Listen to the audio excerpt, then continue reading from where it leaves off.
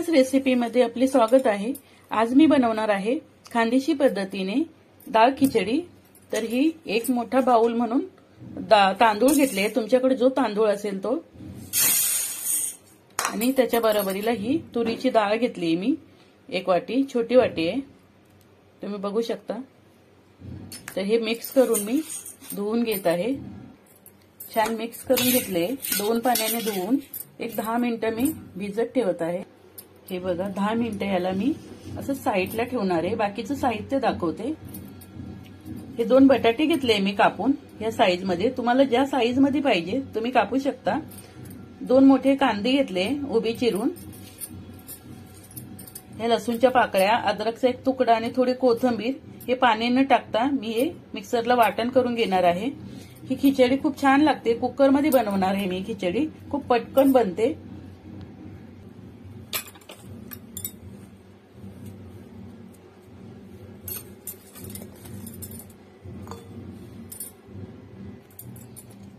हे बघा. छान मी वाटून घेतलंय पाणी न टाकता. आपण रेसिपीला सुरुवात करूया. खिचडी मी कुकरमध्येच बनवणार आहे. कुकर छान तापवायला ठेवला आहे. गरजेनुसार तेल टाकून घेऊया. या खिचडीला तेल चांगलं असलं की खिचडी खूप छान लागते चवदार लागते. त्यासाठी मी ते तीन ते साडेतीन चम्मच तेल टाकून घेतलं आहे. तुम्ही तुमच्या गरजेनुसार टाकू शकता. तेल तापत आलंय आपलं. थोडीशी मोहरी टाकून घेऊया.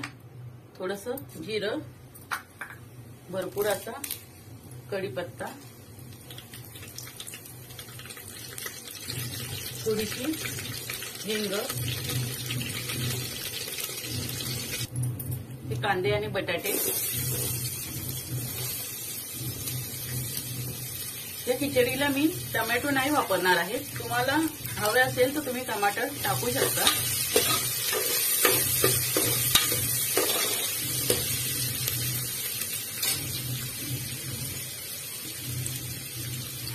खिचडी शेंगदाणे टाका. खूप छान लागते. कुणी खोबरंही टाकतं. ज्याच्या त्याच्या आवडीनुसार. छान सर्व मिक्स करून घेऊया. सर्व परतून घेऊया. हे अद्रक लसूण कोथंबीरचं वाटण मी टाकून घेणार आहे. यालाही छान परतून घेणार आहे. मसाले बघणार आहोत. हा गरम मसाला घेतला आहे एक चम्मच. हा किचन किंग मसाला आहे थोडा. हा लाल मसाला घरगुती. थोडीशी हळद. हे पण टाकून घेत आहे मी.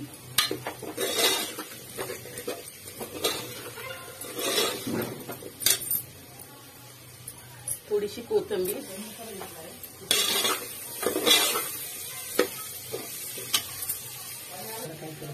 हे भिजवलेले डाळ तांदूळ मी टाकून घेत आहे.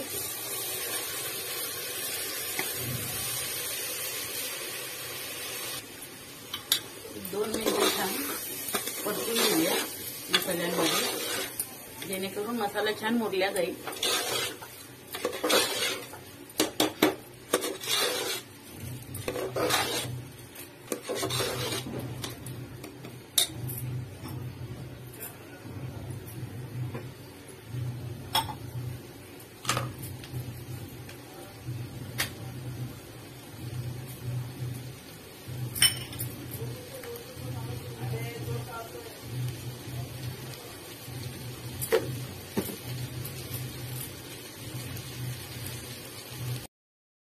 गरजेनुसार मीठ.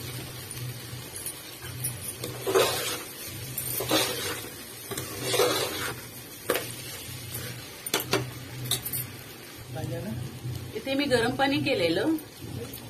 एक वाटी तांदूळला दोन ग्लास पाणी गरम करायला ठेवलेलं. ते टाकून घेत आहे.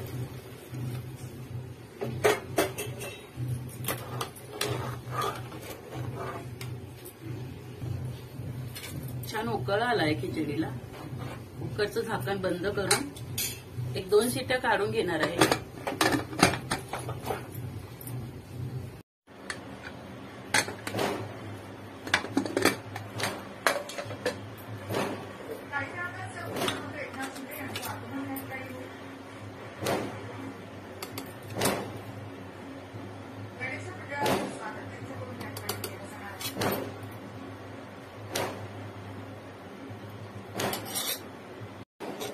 तुम्ही बघू शकता किती छान मोकळी मोकळी अशी मसाला खिचडी बनली आहे खांदेशी पद्धतीने.